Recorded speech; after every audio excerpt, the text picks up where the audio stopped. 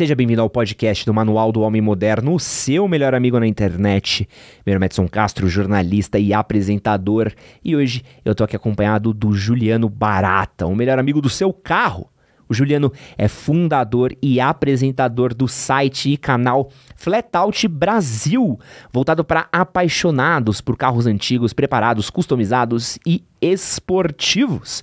Ele também é embaixador e apresentador da Continental Pneus e apresentador da CCL Brasil.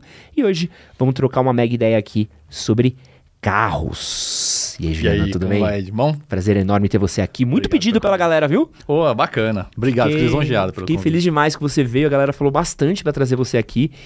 E Antes da gente começar nosso papo sobre carros, quero deixar aqui um recadinho pra galera que tá nos assistindo, que se vocês gostam de falar sobre carros, se vocês gostam aí de automobilismo, é, tunar o carro, aí deixar o seu carro no grau Deixa o like nesse podcast daqui. Deixa sua avaliação também, se você estiver ouvindo em áudio, tanto em plataformas Apple como Spotify também. E acima de tudo, se você puder, compartilhe esse episódio, compartilhe com seu grupo de amigos, compartilhe no Telegram, WhatsApp, Discord, porque isso ajuda muito a gente. E a perguntinha do dia, Vou deixar aqui pra gente pôr, vamos mandar a perguntinha do dia. É, qual é o seu carro dos sonhos? Boa pergunta, hein? Qual que é o seu carro dos sonhos? Responde aí pra gente. Fiquei curioso de saber qual que é o carro dos sonhos da galera, hein?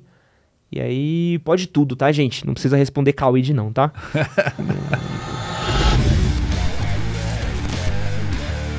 Juliana, pra gente começar nosso papo, eu queria saber de você é, qual é a relação entre o brasileiro, carro e status? Essa é uma boa, viu? Uh, eu tenho alguns amigos que trabalhavam em revistas comigo e tudo mais, né? Trabalhando na revista Car Driver, na Quatro Rodas. Hoje eles estão na indústria, né? Então a gente fala que passou para outro lado do balcão, né? Então hoje estão em marcas automotivas, né? E aí eles têm acesso a informações, uma perspectiva que muitas vezes foge um pouco do senso comum, mesmo informações que nós temos, né? Mas na verdade eles acabam corroborando muito essa ideia de que o brasileiro ele é mais ligado a status do que ao carro em si. E eu tendo a concordar também, assim, eu acho que a gente aqui até saindo um pouco do universo do carro, por exemplo, aquela velha história clássica e muito real da pessoa que chega super mal vestida, camiseta branca meio poída, é, bermuda e chinelo numa loja de roupa cara, todo mundo desdenha dele, e no final descobre que o cara é fazendeiro, e aí o cara só de birra comprou metade das peças da outra loja concorrente porque foi maltratado naquela loja, né? Então, a, a, gente mede muito o outro. Então a gente não pode nem culpar, ah, vamos dizer assim, o comportamento do brasileiro se socialmente o nosso comportamento já é de medir o outro por essa questão de status, o que parece mais do que realmente é, né? Então Sim, de fato, o brasileiro ele tem essa tendência, por exemplo, a ter uma predileção maior a um seminovo de uma marca importada do que ter um carro zero um pouco mais modesto. Até a forma como os pacotes dos carros de marcas premium são montados aqui no Brasil consideram isso. Vou dar um exemplo. Na Alemanha é muito normal você ter Mercedes Classe C, Audi A3, a BMW Série 3 com calota, com ajustes todos manuais, né, de espelho, de banco, às vezes até um sistema de infotainment mais modesto e tudo mais. E aqui no Brasil, não, isso é inadmissível. Imagina, uh, um polo intermediário tem ajustes elétricos, como assim meu carro não tem? Então, as marcas até já trazem os carros aqui das marcas premium já pensando nessa forma como que o cliente vê e mais importante do que isso, né, como ele se sente visto a bordo desse carro, né? Então isso é fundamental, assim, o brasileiro realmente ele tem uma ligação muito mais com o status do que com a paixão. A paixão, quando a gente gosta muito, quando a gente ama alguma coisa, o que a gente faz? A gente cuida, né? uhum. né? Agora, qual é o clássico comportamento do brasileiro, infelizmente, né? Não é cuidar do carro, é usar peça paralela, uhum. é, é, é postergar para fazer mais a manutenção corretiva do que a preventiva, especialmente quando a gente está falando desses carros premium. Cara, ah, não, imagina, por esse preço aqui eu vou andar de BMW usada, mas aí o cara deixa acontecer um problema no carro para fazer a manutenção e muitas vezes opta por peças paralelas. Então, a gente pode dizer que essa pessoa é apaixonada por carro? Não necessariamente. Eu acho que na régua ali talvez pese mais realmente o status, né? É lógico que tem exceções, né? Então, Aqui eu estou falando de uma forma mais generalista, né? Uh, mas de fato, se você pegar uma pessoa que tem um carro simples, modesto, mas o cara só põe ali componentes de qualidade, peças originais, sabe? Dirige com maior carinho, lava o carro ele mesmo. Esse cara é muito mais apaixonado por carro do que um cara, às vezes, que tem um carro esportivo e que trata dessa forma, como eu falei, né? Com peças secundárias, esperando dar problema para cuidar do carro. Não posso dizer que esse cara é apaixonado por carro, né? Você acha que isso explica um pouco o fenômeno que a gente tem muito forte no Brasil dos carros na moda? Que é essa coisa do ah, carro sim. que é a tendência do momento e que acaba tendo um pouco do que foi, sei lá, Maró que foi durante um tempo, que era o, o, o carro que vira música, que é o clássico, né? Sim, Nossa. sim, o professor do Camaro, é. amarelo. É. Eu acho que sim. É, até lembrando um pouco tempo atrás, né? Essa questão de o Brasil tem esse comportamento um pouco de manada, assim, né? Lembro que a, o poder que as novelas tinham, por exemplo, né? É, a própria Kia fez uso muito, uso muito inteligente disso em marketing, né? Várias novelas da Globo tinham carros da Kia e tudo mais, sabendo que as pessoas eram influenciadas por isso, né? Então, isso com certeza faz parte disso. Tem uma coisa também, assim, do comportamento uh, ligado a a própria marca em si, né? a gente pegar, por exemplo, a parte de moda mesmo, né? Antigamente você sabia se era uma peça de qualidade, não porque tinha um logo uhum. da Chanel, da Yves Saint Laurent, era tudo muito discreto antigamente, né? Você via o quê? Pelo tecido, pelo toque, pelo corte, pelo caimento, pela execução em si. O próprio design do carro hoje mudou as marcas, na própria moda também, né? Antigamente você sabia se a peça era falsa, justamente tinha um logo gigante aqui, ah. né? Falava, ah, isso é peça meio de emergente, o pessoal falava, né? Então imagina que isso é original, não sei o quê. Hoje, as próprias marcas de carros também colocam logotipos gigantes, grades gigantes, como exemplo, BMW. Então, essa coisa da, da, de se expressar em caps lock, né? De você fazer uma coisa tudo assim hiperlativa, tudo, tudo muito exagerado. O carro é só uma manifestação da nossa cultura. A moda, a arquitetura, como a gente se veste, cada vez mais exagerado. E os carros também, né? E o SUV, cara? Como é que a gente explica essa paixão do brasileiro pelo SUV nos últimos anos? Eu acho que é uma combinação de várias coisas. Uh, eu, eu acho que combina uma percepção de segurança maior, porque está num carro baixo, é, especialmente a gente tem muita moto no trânsito, a gente uhum. sabe que nem todo motociclista é bandido, né? É óbvio. Mas você tem aquela coisa de, putz, para uma moto ali com um garupa do lado, você fica meio assustado. Num carro mais elevado, você se sente um pouco mais seguro. Você tem uma visão panorâmica do ambiente, inclusive, um pouco melhor. A gente tem as condições precárias das nossas ruas, uh, então a gente tem muita valeta, a gente tem muita rampa, muita, muita lombada que parece uma miniatura do Pão de Açúcar. Ah, então, carros baixos, eles raspam mais. Então, é, tem uma questão também de conforto, né? É, mas eu acho também hoje não é nem essa questão preponderante, até porque hoje muitos SUVs, na verdade, são derivados diretos de hatches ou carros compactos e, e essa diferença de conforto nem aparece tanto. Ah, hoje é mais uma questão, acho que visual mesmo, de status, o carro grande, né? De novo aquela questão do status, né? Do, do maior, né? Do, do, que, do que do discreto, né? Então obviamente um SUV se impõe muito mais, né? E o trânsito também está cada vez mais agressivo. Então acho que é uma soma de vários fatores, mas não é só o Brasil, tá? Em, escala global a gente vê uma presença cada vez maior é, de SUVs. Eu pessoalmente não gosto porque são veículos que são mais pesados, aerodinamicamente são menos eficazes, ah, tudo neles tende a ser pior, assim. Então é Pessoalmente, eu prefiro muito mais um hatchzinho, principalmente para cidade, um carro mais baixo para estrada, um sedã. As peruas morreram, né? Antigamente a gente, tinha, a gente tinha as peruas que atendiam essa solução familiar que hoje o SUV atende, né? Mas é coisa de mercado, assim, não dá para botar ninguém na cruz. Eu acho que é uma soma de fatores e essa sensação de segurança, acho que em especial no Brasil, acaba colaborando mais. Né? A gente perdeu um pouco desse acho que por causa do, do, do, esquema do trânsito, principalmente quando a gente tá falando de uma cidade grande que nem São Paulo, né? Hum. Acho que no ecossistema de São Paulo são 20 milhões de habitantes, né? Se juntar ABC, é, cabeça até não poder mais, né? Não faz mais tanto sentido, né? A gente pensar, pelo menos, por exemplo, eu penso por mim, né? Pô, tenho aqui um V8. Uhum. Pô, pra mim é impensável pelo que eu faço dentro do trânsito, não funciona, né? Perdeu-se um pouco dessa pô, potência, capacidade do carro e muito mais pela eficiência dele no, nesse sistema, né? Eu vou daqui para lá, quanto que eu percorro por, por dia. É, eu acho que o automóvel se divide em várias coisas. A, quando a gente está falando de um V8, um Camaro, um Dodge, um Mustang, ele concentra em si a imagem que você quer transmitir de quem você representa para a sociedade. O carro é muito isso, porque o apartamento é um imóvel, literalmente. Ele não sai do lugar, né? A roupa também serve mais ou menos. O carro é uma hiper extensão da roupa, na verdade, porque uh, você se desloca com muito mais velocidade, você é visto de uma forma muito mais uh, efusiva, de muito mais distância, né? Então, você ser visto num Camaro, num Mustang, traz uma, uma imagem que você quer transmitir para a sociedade. Isso é um fator, né? Mas também tem a questão da experiência, né? Você quer ter o tesão de acelerar um carro, um ronco daqueles, né? O torque, enfim. Então é, é uma soma de coisas. Agora, o carro também é um meio de transporte. A função essencial dele é essa, né? Então, acho que vai depender do peso de cada vetor. Uma pessoa que quer mais do que tudo um meio de transporte, obviamente numa cidade vai estar muito mais feliz com um carro compacto, um Fit, um SUVzinho pequenininho e tudo mais, né?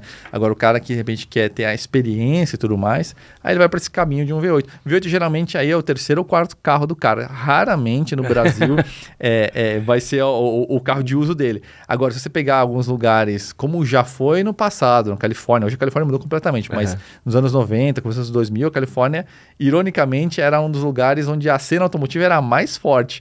E ainda é hoje, até hoje. E lá você tem muita gente que usa um Porsche de uso diário, um Mustang de uso diário e tudo mais. É, até porque também não é uma cidade tão metropolitana. Se pegar Los Angeles, por exemplo, beleza. Mas se for em Santa Mônica e tudo mais, você tem muito menos trânsito. Então você tem razão. Quando tem muito trânsito, um carrão desses faz cada vez menos sentido. Né? E uma coisa que não pegou aqui, pelo menos, foram os smarts, né? A gente não, ah. não conseguiu, não emplacou tanto quanto imaginava se fosse emplacar, Sim. né? Eu acho que ele faz todo sentido no papel. Tem duas questões. Uma questão prática, que ele é um carro um pouco desconfortável por ser curto e o chão é muito ruim, né? Mas eu acho que entra um pouco naquela questão do status também, né? O brasileiro gosta de carro grande, né? E, e chega a ser um paradoxo, porque cada vez mais o carro é usado como transporte individual, né? É, e, e, cada vez mais as pessoas compram sentido, carros né? cada vez maiores, né? Então, essa predileção de verdade, eu não vejo sentido, mas é assim que o consumidor se comporta, então... É, é louco, né? Porque a ideia era ter um carro que era mais barato, mais Sim. fácil de você estacionar. Sim tecnicamente ocupava menos espaço e não colou, né? Exatamente. Essa questão do, do próprio status, né? Até, pô, você foi muito certeiro nisso, né? Porque eu tive poucas pessoas que eu conheci que tinham smart eram zoados por terem smart. Exatamente. É. É. O, o, o, brasileiro tem muitas qualidades, cara. A gente tem uma capacidade de improvisação muito grande, né? Especialmente compara com o próprio alemão, né? Que fabrica, por exemplo, o próprio smart, né? É, mas o mesmo deboche, essa coisa que deixa às vezes o nosso dia a dia mais leve, às vezes... Uh, limita um pouco as nossas escolhas sem a gente perceber, né? Um exemplo clássico é a história lá do Cornovagen, né? Que era um, um acessório, uh, enfim, um Fusca com, com teto solar que virou, just, justamente recebeu esse apelido e, obviamente, virou um fracasso de vendas por causa disso, né? Cara, é então, é bizarro, né? O deboche é um pouco perigoso, assim, nessa parte. E você, cara, trabalhando há tanto tempo que você trabalha como especialista em carros, escrevendo sobre carros, uhum. avaliando carros, com grandes marcas, qual que você prefere? Você prefere carro americano, carro japonês ou alemão? Ou sei lá, você tem a escola inglesa também, não sei se você... Ah, eu acho que depende muito do, do fim da marca, do modelo, do perfil de uso também. Eu sempre falo assim, é, o cara que. Tudo bem que agora a gente está num outro momento da indústria, mas o cara que não quer dor de cabeça, por muitos anos eu falava, cara, compra um Fit. Você pode gostar ou não gostar de carro, mas que é um carro que não te dá nenhuma dor de cabeça, com manutenção, ah, vamos dizer assim, não das mais baratas, mas extremamente confiável, é Honda e Toyota, né? Não necessariamente vai ser o carro mais entusiasta, mas aí, por exemplo, tinha o Civic SI, que é um carro sensacional para quem gosta de guiar. Então, é difícil a gente dizer de uma forma generalista. Às vezes o cara gosta de um, putz, um carro macio, gostoso, com muito torque e tudo mais. Pô, às vezes o americano vai mais no estilo do cara. A Porsche, por exemplo, hoje eles conseguem oferecer um, um, uma amplitude tão grande de modelos dentro do mercado premium que é até difícil de, de a gente encaixar dentro de uma, de uma caixinha, né? Porque a Porsche vai ter o Macan, o Cayenne, Panamera, até um super elétrico que é o Taycan. Uhum. É, e, lógico, todos os 911, Boxster. Então, é, em termos de precisão de fabricação e controle de qualidade, eles são assim impecáveis, é uma referência absoluta da indústria. Então, hoje a, a indústria evoluiu muito, inclusive, né? Antigamente a gente tinha aí marcas que tinham um, um problema de controle de qualidade um pouquinho maior, né? As próprias marcas chinesas, quando chegaram aqui no mercado, EFA, a própria Jaque, né? Tinha muito problema de controle de qualidade. Hoje já melhorou bastante, né? Então, é, é hoje diria que assim, a preocupação principal é pós-venda, né? Você tem uma marca que te atenda muito bem nisso, e aí é, recomendo sempre dar uma olhada no Reclame Aqui e tudo mais. Mas também depende um pouco da, do regional, né? Às vezes você está numa cidade que não tem muitas concessionárias, ou que tem uma baita uma concessionária que atende super bem de uma marca que tem uma má reputação. Então as coisas são um pouco complexas, às vezes não dá pra gente cravar assim, ah, essa marca é boa e. E eu mesmo não tenho essa predileção, por exemplo. Você não tem uma pira sua? Ó, por exemplo, eu tenho. ah, eu gosto muito de carro antigo. Né? Então, ah, eu, eu tive dois Dodges, um dia espero voltar a ter um, né? Eu tive um Dart e um Charger. Hoje eu tenho uma Alfa Romeo antiga, 72. Carro atual de uso, eu tenho um Sandero RS. É, gostaria de. Putz, eu tive um Honda Prelude também, gostaria de ter um Civic aí, EG ou EK, um VTI, né?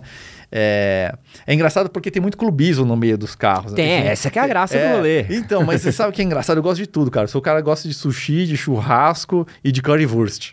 Pô, então você nem entra na briga do, do americano Não contra o entra. japonês, E cara. digo mais, cara. Eu acho que cê- se você entra muito nessa pira, você. A gente vive uma vez só. Você entra muito nessa pira, você perde a oportunidade de, de conhecer coisas muito legais, cara. Mas eu super entendo. Assim, tem vários amigos que não, é só BMW ou, ou nada e tudo mais. É o clubismo, né? O clubismo, É. ele se expande até pros... É muito louco pensar como a galera é clubista até pra carro, né? É, é. É um bagulho de, de, de, de pinóia, assim, que nem é, a galera que é apezeiro, né? Tipo, Sim. o cara que gosta de AP. Opaleiro, que apezeiro, é, sim. meu tio é apezeiro total, assim. Meu tio só gosta de motor AP. E, meu, esquece.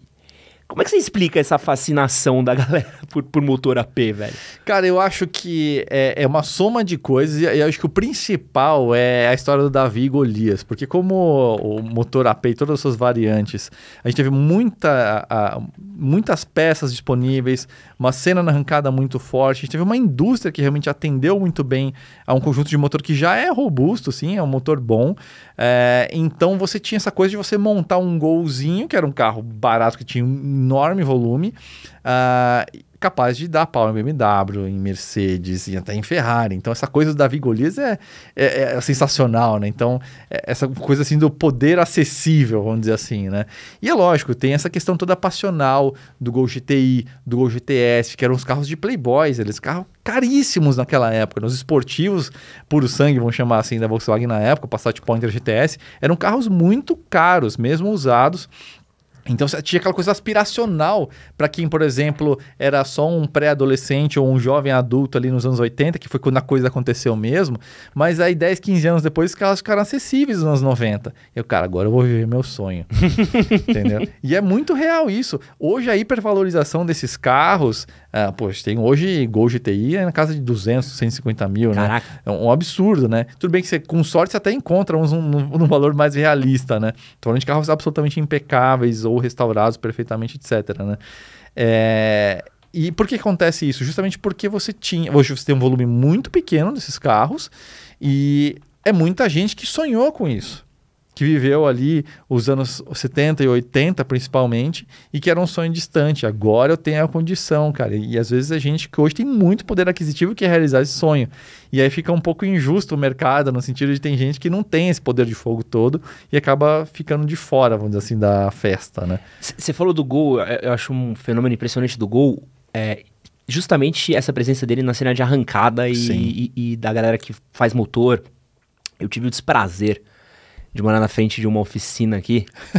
Nada contra oficinas, gosto muito de oficinas. Meu tio foi mecânico, eu corria de arrancada em Interlagos, mexia com meus dois tios, corriam. Mas o pessoal aqui era insuportável da frente aqui, largava os carros pela rua, largava na frente da garagem dos vizinhos e tal. Só, só quem viveu sabe. E era um monte de gol. Era impressionante a quantidade de golzinho que vinha pra, pra mexer. E você vai ver em competição, os caras pira, né? O gol virou um. Sim. Mas eu acho que é isso, é a questão de volume muito grande fabricado e uma indústria e toda essa questão do, do, do Davi Golias. Na Argentina é o Uno. Quê? É. Na Argentina. Sem? A cena, a cena do carro preparado na Argentina é o Uno, cara. Lá tem um Uno que gira 11 mil e poucos RPM. Parece uma moto. Você ouve o barulho do motor, parece uma moto. Aspirado, turbo. É impressionante. É E o aerodinâmica, não tem aerodinâmica Uno, né? Ah, não, não. Mas o Gol também não tem. O, o Gol é mais bonitinho, mais arredondadinho, mas é o tijolo igual. Mas é, é bem isso aí. E é exatamente a mesma coisa. É, o, é, é, vamos dizer assim, o poder na mão do povo. Só que tem gente que põe uma fortuna no carro Tem, ali, faz um tem. motor de 40 40, 50 pau, até muito mais, para ser um, realmente um carro canhão, aí, de 500 cavalos, 700. Então, é... Mas não deixa de ser um gol, né? Então, esse contraste que, para algumas pessoas, é razão de desprezo, do tipo, você pôs tudo isso e continua sendo um gol. Para outros, é. É justamente isso que é legal, continua sendo um gol. Então a galera tá fazendo isso com cadete agora, a galera É, vai pegando um. exatamente. E vai mexendo. Meu tio Exato. tinha um Fusquinha mexido. E ah, é isso. então, Fusca é outro. Fusca é a mesma coisa, né? Exatamente a mesma situação. Fusca é outro carro extremamente popular na arrancada, né? É, não, e, e aí tem a galera que é, é purista, né? Ficava louco. Como assim Sim. você mexeu no Fusca, Sim, sabe? é, porque o Fusca já tem. O Gol já tá, chegou nesse status também, mas o Fusca tem muito mais essa coisa da, da preservação histórica, dos modelos raros e tudo mais, né? E hoje, agora a gente tá na- nu- numa época em que a galera que nasceu nos anos 90 e viveu o começo dos anos 2000 sonhando, é, tá indo atrás do Civic SI, por exemplo. Caraca. Que é o carro de 2007 Aham. até 2011, se não me engano, e, e que hoje também estão super valorizados. Mesmo motivo, eram carros inacessíveis para esse pessoal na maior parte do tempo, e hoje, hoje já ficaram, estão ficando inacessíveis porque todo mundo está indo atrás. Mas é aquela coisa do, não, agora eu tenho condição e vou atrás daquele sonho de adolescência. A gente tá falando aqui de carro velho, e acho que é, é uma coisa legal de falar, porque eu acho que as pessoas às vezes não têm ideia dessa cultura da placa preta, né? Do como a gente tem em São Paulo uma cena de carro antigo, não só em São Paulo, né? Acho que no Brasil inteiro, mas Sim. São Paulo é muito forte desses carros, né? Como é que você vê essa questão desse. Dá pra chamar de colecionismo? Sim. Como que, como é que a gente pode chamar isso de. Ah, o, o automóvel, ele é um bem de uma produção cultural, né? Você pegar um design de um carro americano na década de 50, ele é diretamente comparável com a arquitetura da época, como as pessoas se vestiam, né? Então, ele- embora ele seja móvel, e é isso que fascina, porque ao contrário de uma obra de arte ou de um prédio, ele anda, ele desfila, ele se desloca. Então, não só ele faz esse, entre aspas, bem social de mostrar e se deslocar para o mundo, é, fazendo a função que ele foi projetada para isso, é um meio de transporte, mas ao mesmo tempo sendo um- um- uma representação cultural móvel, né? Então é importante o carro original, antigo, conservado, conservando essas características de época, é, é um serviço social que esses colecionadores todos fazem, né? E, e não só nessa parte, na parte de mão de obra também, restauração envolve tapeceiro, eletricista, pintor, funileiro, até o guardador lá da, da garagem e tudo mais, então Geralmente são pessoas que são muito ricas que têm esses carros todos, mas o carro ele acaba tendo um- uma função social muito interessante, assim, de lembrar de onde viemos é, de uma forma móvel, que é o que é mais encantador, né? Né, E eu acho legal, o meu, meu tio ele coleciona carro, ele tem carro, né? E não é rico, por incrível que pareça, ele só é louco. Sim. que é, é bem parecido, né? e, e é muito doido. Ele tem. Hoje ele tem um Opala, um Cadete, um Gol e um Fusca. Acho que o Gol ele passou pra frente, mas não, Tá. não tenho Mas são os certeza. grandes ícones nacionais. São os rolês É. dele, assim. E a quantidade de vezes que eu já fui com ele em encontro de carro antigo, lá na Luz, no Uhum. Center Norte, pra gente caçar o espelho específico do Fusca que ele Sim. precisava achar pra bater ali, porque o que ele comprou não era o certo, né? É muito doido, né? Porque tem quase um caçada Pokémon que os caras vão fazendo, né? Pra achar cada cantinho, parafusinho pra ficar o que era mais perto de antigamente, Sim, né? é isso. E é uma coisa muito legal. Você já andou com ele de carona? já, assim? já, pô, Cara, muito. É, é, é, É outra vibe. É muito legal a reação social, porque É. você vai ter ali o pessoal de idade que você vê nos olhos o passado voltando para ele. Você vai ter criança que se encanta pelas formas do carro, porque é um design mais puro, que não atende tanto às especificações de crash test, ou essa coisa que a gente estava falando do status. Então, são designs que, em muitas formas, são mais sutis, mais elegantes, mais delicados até, né? Então, causam reações completamente diferentes. Eu tinha um Opala 74. Puta, com- delícia. Cara, o carro maravilhoso, assim, todo original, câmbio na coluna e tudo mais. E era engraçado que, putz, é, é, eu falava assim, pessoal de idade, criança e motoboy. Esses eram os três que piravam mais, cara. Era impressionante, cara. cara, Aí sim, tal, não sei o quê. Mas, cara, os caras falam com um brilho no olho, assim.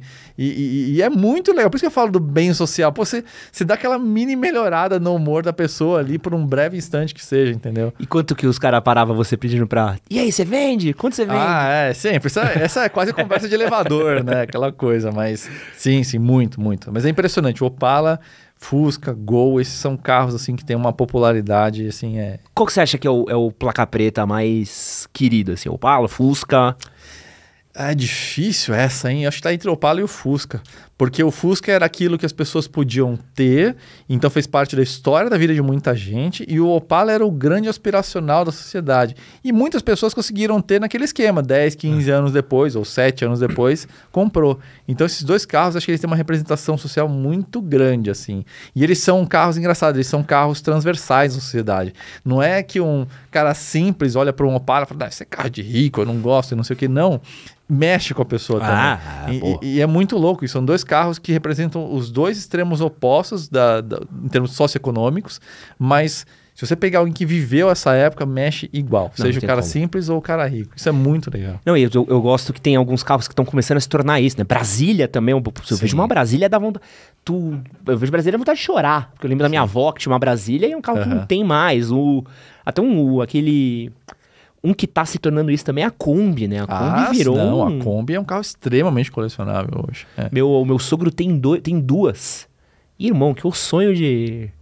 Já falei, já vou casar com sua filha para ficar com as Kombi, não tem... Você sabe, você sabe que é uma coisa engraçada da, da Kombi? Para você ver como que o carro ele mexe com a gente de formas complexas, né? Eu vejo, especialmente se eu entro dentro de uma Kombi, eu sou transportado de volta para o meu primário. Piruinha escolar, que era uma Kombi, seu Luiz, que já faleceu faz muitos anos. Eu lembro o cheiro. Então, assim, é, é não é só um, design bonito, uma coisa legal, você parecer descolado, transmitir uma imagem.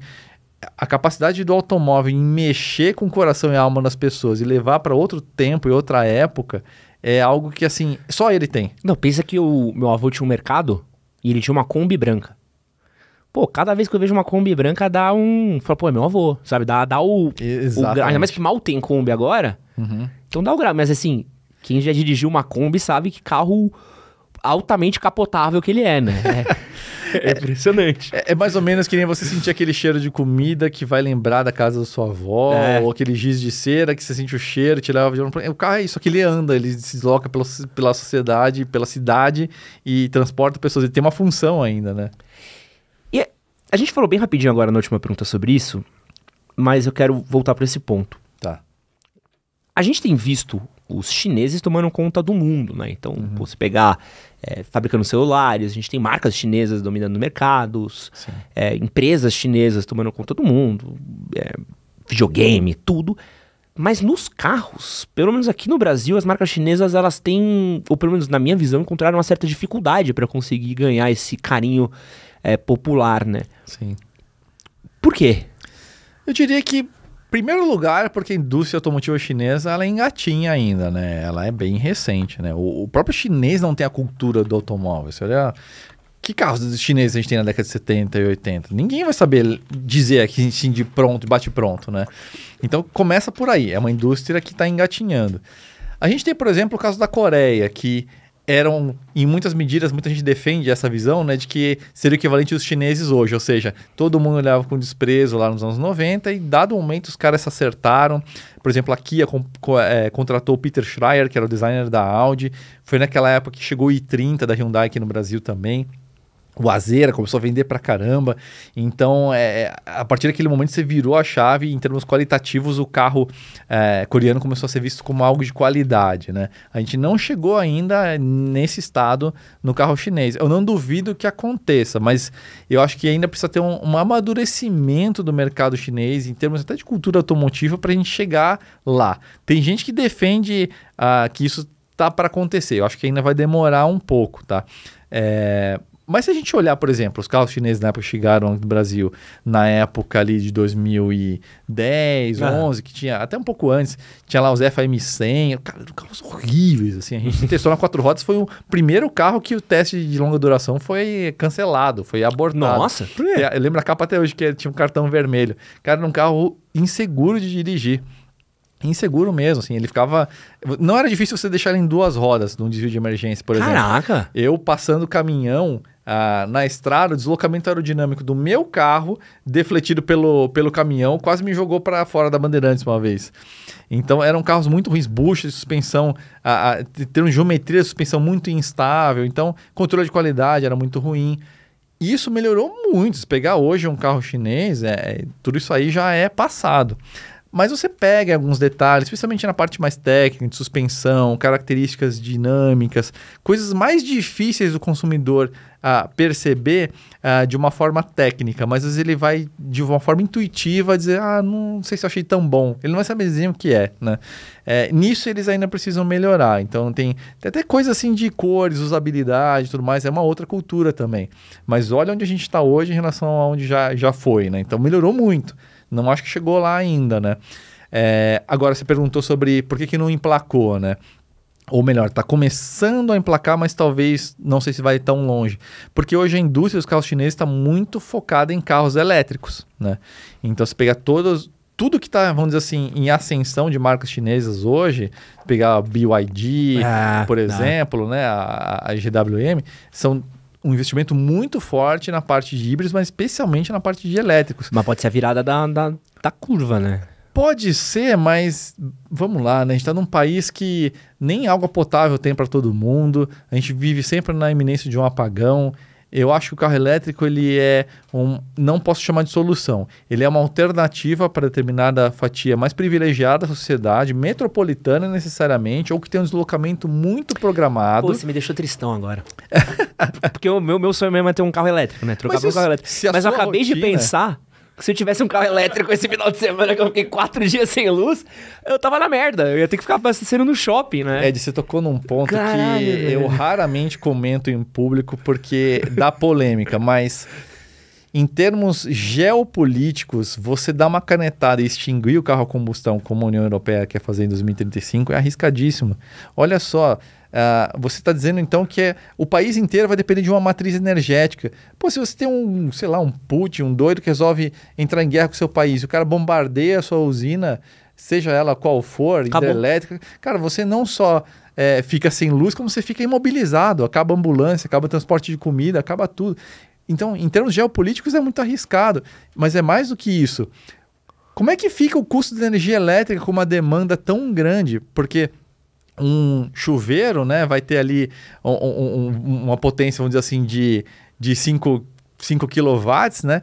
E para você é, kWh, e aí para você recarregar uma bateria de um, de um carro na carga máxima, como a Porsche anuncia no Taycan, uma carga de 350 kW, a gente está falando de 70 vezes mais, 70 chuveiros ligados ao mesmo tempo. Que infraestrutura que vai dar conta disso? Você vai transformar cada bairro em um parque industrial. E a gente está num país que está beirando um apagão. Olha a Califórnia, por exemplo.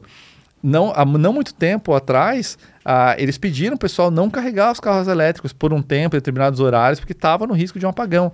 E a gente está no momento incipiente da adoção do carro elétrico ainda. Então, eu acho que é uma, é uma alternativa interessante, como eu falei, para alguns nichos mas eu acho que é um pouquinho de delírio a gente pensar em a solução, a panaceia da solução do transporte, tá? Talvez para um país como a Suécia, um, um, uma densidade demográfica muito baixa, uma população rica e com muita terra sobrando para você ter é, não só fornecimento de energia elétrica, mas também você ter onde plugar o carro. Porque imagina, o cara simples que nem tem garagem em casa, como esse cara vai recarregar o carro dele? É, não, quem, quem mora em Sobradinho, que não tem garagem, né? não tem, não tem é, onde. Que né? é a realidade de muita gente, não só aqui de São Paulo, do Brasil, mas no mundo todo. Então é, é um pouco complexa essa questão toda. Eu, eu acredito na diversidade. Eu gosto do carro elétrico como uma alternativa. Eu não gosto dele como a única opção. Você acha que o híbrido ele supre um pouco essa, essa é, falta do ele elétrico? Ele está entre os dois. Eu acho, eu gosto desse mundo onde a gente tem carro a combustão, onde a gente vai ter combustível sintético, como desenvolvido pela Porsche, a gente tem o carro híbrido, a gente tem o carro elétrico de diversas fontes de energia, não só de baterias de íons de lítio, como é o modelo que a indústria está adotando hoje, como outras que vão vir, né, célula, combustível, enfim. Essa diversidade, eu acho que ela é importante até em termos de é, em termos de lobby, você evitar dar poder demais para um determinado segmento que pode ter uma influência política, por exemplo. Uhum. Né? Eu acredito muito que essa questão do carro elétrico vem com muita força da União Europeia querendo sair uh, do, da influência do Oriente Médio e dos Estados Unidos. Né? Uhum. Né? Existem questões aí que podem estar ligadas à sustentabilidade, existe muita discussão sobre isso, inclusive se o carro elétrico é tão sustentável assim, porque a extração do lítio ela é muito agressiva em termos de contaminação de solo, de lençol freático e tudo mais.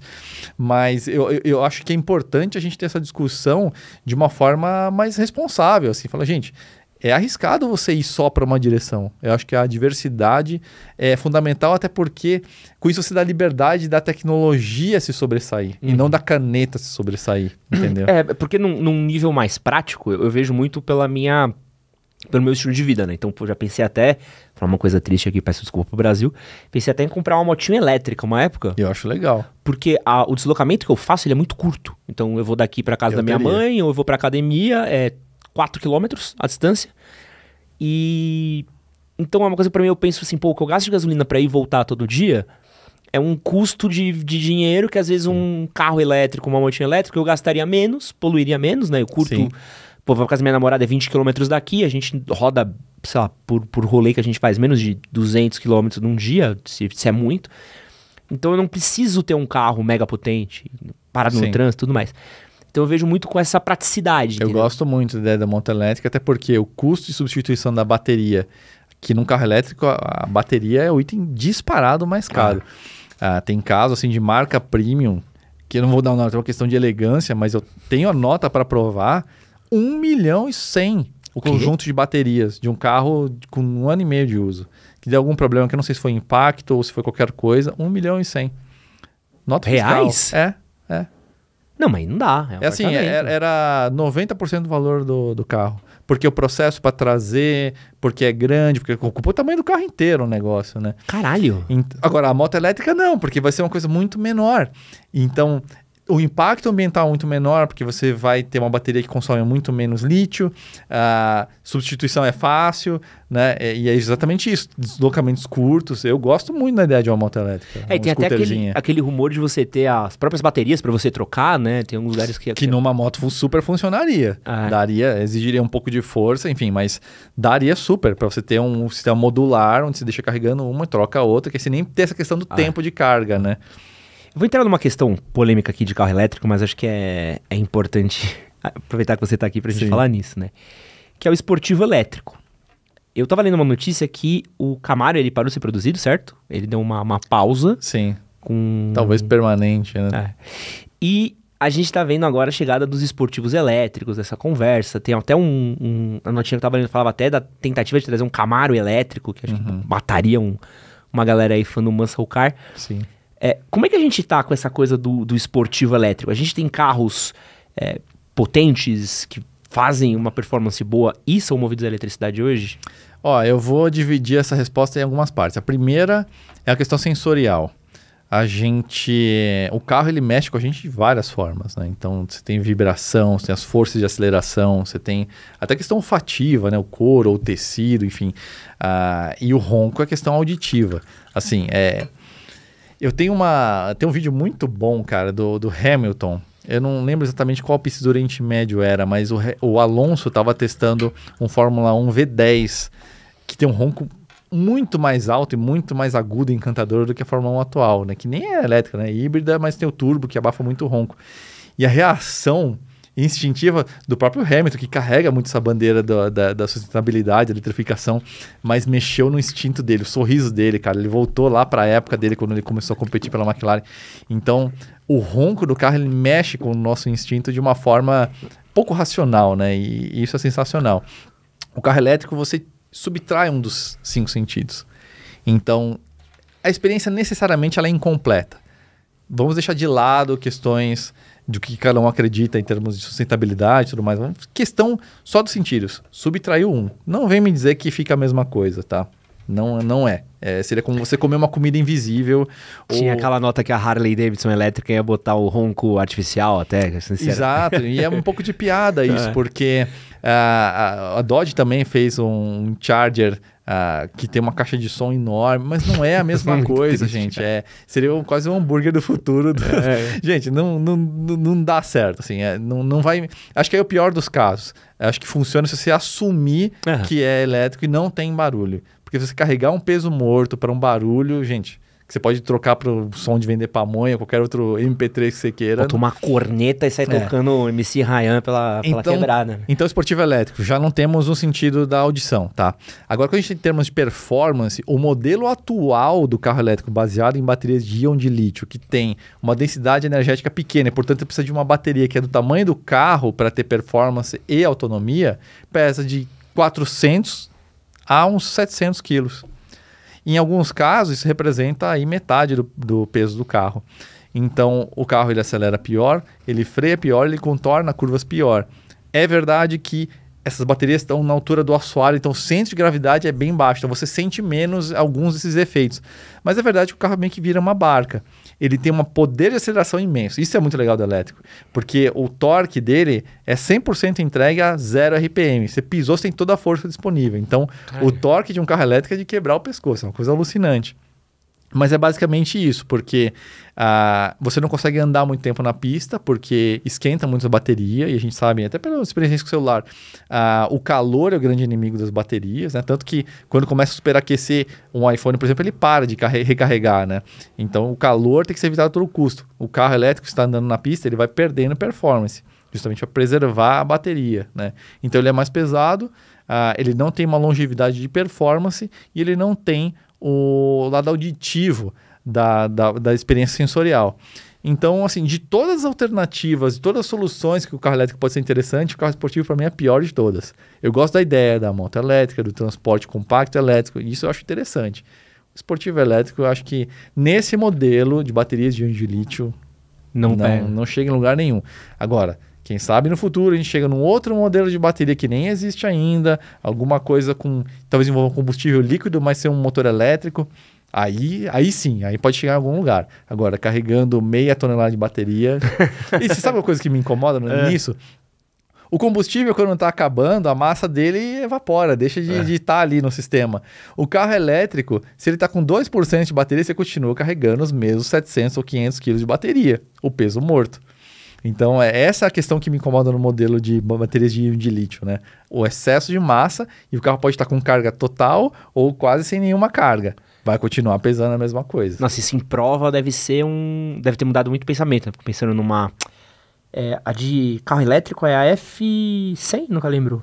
Ah, Fórmula E. Fórmula E, isso. É é, deve mudar muito a estratégia, né? Porque na Fórmula 1 eles usam quanto de combustível para pensar em é, a for... voltas e tudo mais. É, a Fórmula E, na verdade, ela é, gira em todo em torno desses problemas. Então, são provas curtas, sempre com curvas que são muito trancadas para você ter uh, o máximo de regeneração possível, né? Feito pela, pelo sistema de freios e ali pelo inversor de corrente e tudo mais. E, e também as curvas são apertadas para você não ter curva de alta velocidade, porque esses carros são pesados, então é, a performance não ia, não ia ser tão boa. Então, quando é curva de baixa, dá uma nivelada, não fica tão esquisito de assistir, né? E então, assim, é, é um espetáculo de baixa audiência, não tem muito uma cara de laboratório porque é tudo padronizado, a parte de powertrain, parte de bateria. Então, é um pouco de festa corporativa, para ser bem franco contigo.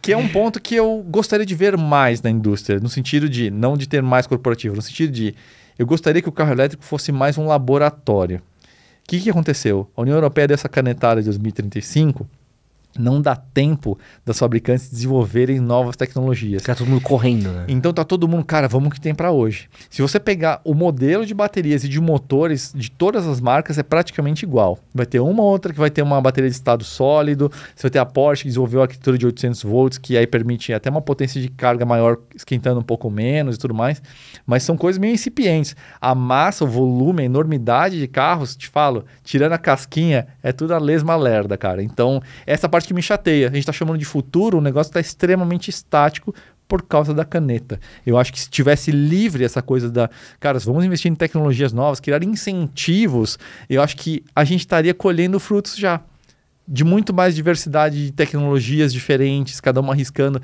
tentando ser o novo CD, na uhum. época que o vinil estava ali em alta e aí foram aparecendo outras tecnologias e tudo mais, no final o CD ganhou, né? Ganhou por alguns poucos anos, mas ah. tudo bem. Mas você vê a importância de você deixar as coisas livres para realmente você ter um avanço tecnológico, né? Então, eu acho que a gente sai um pouco perdendo nessa coisa da canetada da União Europeia.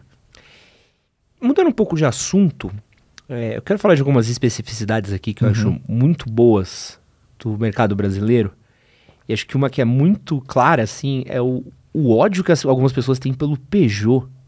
Ah. Que é até meme na internet, né? Tava, tava vendo um meme Sim. muito bom, assim. Até os 30 anos, todo homem vai cometer esses erros, né? Tinha um chifre, pochete, sei lá, urubu do Pix e um Peugeot, né? Por uhum. que que tem... Por que, que as pessoas têm essa ojeriza ao Peugeot, cara? Uh, eu acho que são... O motivo principal... Uh é a questão da manutenção de uma época que os carros da Peugeot eram feitos no mercado europeu. Cara, o nosso asfalto é utilizado pelas fabricantes que desenvolvem amortecedor, que desenvolvem pneu, como laboratório, porque o que a gente tem aqui é tão ruim que os caras usam como laboratório global. Então, você tem um carro que foi projetado para o mercado europeu, que asfalto maravilhoso e tudo mais, aqui não tem jeito, o carro vai sofrer. E esses carros franceses, especialmente aí os hatches dos anos 90, era uma engenharia mais minimalista. Eram carros leves para voltar para eficácia, eficiência energética mesmo. Né? Então, eram carros, eu não vou chamar de delicados, mas acabavam se tornando delicados quando colocados no nosso asfalto lunar. Né? Então, você tinha, por exemplo, o 206, que era fabricado na Argentina, mas o projeto basicamente de especificação europeia.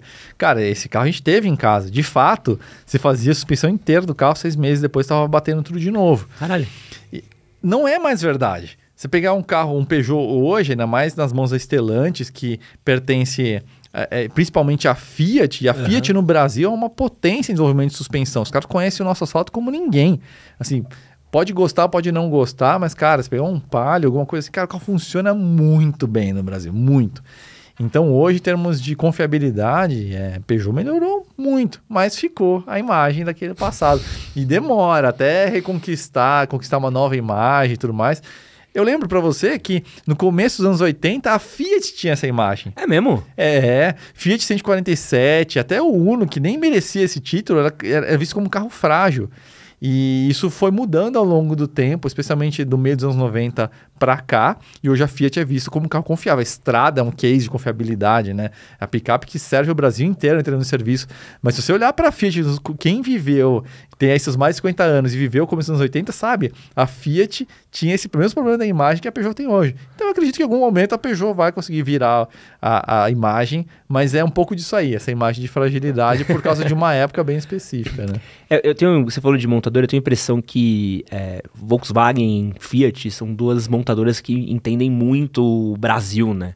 Sim. Acho que é muito louco como manja, assim. Que, que, qual vocês acham que são as melhores montadoras hoje que a gente tem por aqui? É, eu acho que depende um pouco, por exemplo, se pegar em termos de qualidade de construção, pós-venda, as japonesas têm muita força, especialmente Honda e Toyota. Isso aí é. é, é você consegue até aferir por Reclame Aqui e, e, outras, e outras frentes, né? Agora é difícil a gente dizer assim qual que é, qual que é a melhor, né? Porque uh, se você pegar, por exemplo, a Fiat, por exemplo, né? Carros populares que hoje quase não existem mais, infelizmente, uhum. mas há pouco tempo atrás a Fiat era uma potência nessa frente, né? Se você pegar, por exemplo, parte de picapes hoje, por exemplo, se você for a picape V8, a RAM, ninguém bate a RAM. Então, é, acho que depende um pouquinho assim do, do da segmento, é né? da sua necessidade, né? Hoje as, a, a indústria evoluiu muito na parte de execução dos carros. Então, você não tem mais tanto, lembra que eu falei da Peugeot, né? Você não tem mais isso hoje, assim, difícil. Tem exceções. Um exemplo é o caso lá dos, dos motores a CSS da, da Chevrolet, que deu aquele Onix, né, que estourava os motores, 1.0 turbo, a, na época do lançamento, que faz o quê? Faz uns, uns três anos.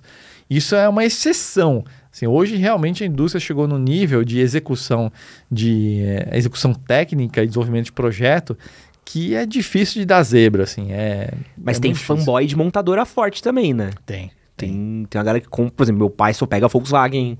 Eu, eu infelizmente segui para esse caminho também. Então, só, só, tenho, só tive carro da mesma marca, da mesma Sim. montadora. Hoje em dia o comprador é mais promíscuo, né? É. Ele, ele, pula de lá para cá e cá para lá, experimenta coisas novas com mais facilidade. Mas pegar ali começo dos 2000 para trás, realmente era isso. Era a bandeira ficada ali. E, e, é engraçado, né? Que às vezes você, gosta de um tipo de escola de carro, eu não sei dizer, eu, eu troquei é, de carro, peguei, tô com meu carro, meu T-Cross hoje e falei, ah, não, é igualzinho meu, tem a mesma vibe no meu carro antigo, só tá um pouco melhor. Então, uhum. Tô feliz aqui. Sim. É engraçado, né? Eu não sei é, o quanto que. Você falou, hoje acho que o brasileiro também busca muito preço, né? Busca também carro da moda, tá? Mas acho que o montador ainda tem um.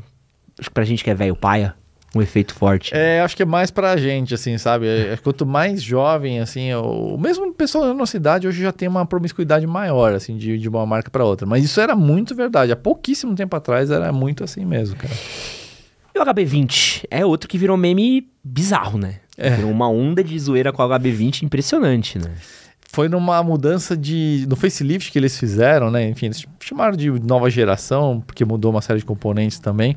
É, que, que, o pessoal chama, chama, de bagre, né? Que foi aquele design com aqueles recortes todos, que era uma escola de design novo ali que eles experimentaram, né? E aí tem uma história engraçada que a gente sempre que no primeiro de abril a gente queria um monte de notícias falsas no, no 0 a 300. Tradicional. E a gente chama o 0 a 300 é uma sessão de notícias, né? E aí a gente queria o 0 a 666, primeiro de abril, todo mundo já espera isso, que são notícias fake, mas aquela pegada meio humor inglês, assim, meio que no limite do poderia ser verdade, mas não é, e eu deixo a dúvida, problema de vocês, né, para uhum. vocês resolverem aí. E aí eu criei uma história onde uh, o design da lanterna traseira do HB20, dessa, desse facelift, que já foi superado, hoje mudou completamente a cara, é, ela era muito estranha, né? Eu falei, cara, se tivesse de ponta cabeça a lanterna, talvez ficasse melhor, né? Aí no Photoshop eu fiz, falei, nossa, pior que ficou melhor mesmo. E aí eu falei, nossa, eu vou fazer um primeiro de abril com isso, criando uma história onde acidentalmente um diretor de design tinha aprovado um desenho, só que ele tava de ponta cabeça. E, e, é engraçado porque se espalhou no WhatsApp com as pessoas tirando screenshot da, da notícia. E acabou e o aí, link. Só que aí acabou o link, sai do contexto primeiro de abril, às vezes o screenshot não tem os nomes, né? Que era, por exemplo, é, tinha uns nomes muito engraçados, tipo já quebrado, sabe? Umas coisas meio óbvias, assim, que tinha alguma coisa errada ali, né? E sem esse contexto, a coisa se espalhou para fora de controle, né? Mas eu digo, cara, vai atrás da informação, assim, é, é, uma brincadeira. Se você acreditou, o problema é seu. E o pessoal da Hyundai mandou um, mandou um oi, mandou não, um salve? Não, não, não, faz todo mundo levou no espírito mais leve, assim, Até porque também já tava para sair o facelift novo, o facelift do facelift, que aí corrigiu todas essas questões e, e deixou o carro super elegante. Né? É, é, engraçado também, a gente falou essa coisa de, de montadora que marca, de carro que pega pecha também. O HB20 virou muito esse coisa. De novo aqui, desculpa se eu ofender alguém aqui. Desculpa não, né? Mas aí é problema de vocês. Vira essa brincadeira do HB20 é o carro da loirodonto, né? Sim. Da pessoa que entrou na faculdade, né? Virou meio uhum. que um. E aí já era, né, cara? Você, você mata o modelo quando você cria esse estereótipo, né? Sim, sim. É, o HB20 ainda vende muito bem, né? É, é a mesma história do Renegade, né? O pessoal fala, ah, o pessoal do CrossFit, Renegade. Todo mundo encaixa o carro numa caixa. Lembra que eu falei a história do deboche, do Cornovagen? Uhum. É isso. Às vezes dá uma estragada nas vendas mesmo. Às vezes, cara, fica ali só no deboche e, e não muda em nada. Me parece que o caso do Renegade e do, e do HB20 não mudou em nada, mas realmente tem essa, essa pecha, né? E é verdade, viu? Eu lembro que eu fui. Pra um evento universitário, cara, o que tinha de HB20 é impressionante. É. Você sabe você olhar e falar, porra, não tem. Não tem outro carro pra, pra galera comprar. é, mas ele. É, é, o design dele conversa muito com esse público mais jovem, né? Então, e é um carro compacto, confiável, tem muitas qualidades mesmo, né? Então, acabou criando esse estereótipo, né? Eu quero falar com você agora do kit padaria. Tá. O famoso.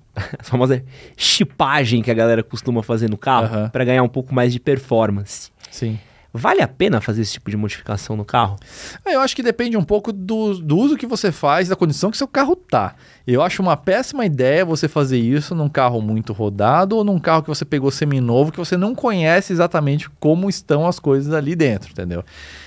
Porque não, esses carros que o pessoal faz o mapa, para ter performance mesmo, tem que ser um carro turbo, né? Então você pegaria um BMW 118i, 320i, enfim, Audi A3, Golf GTI, enfim.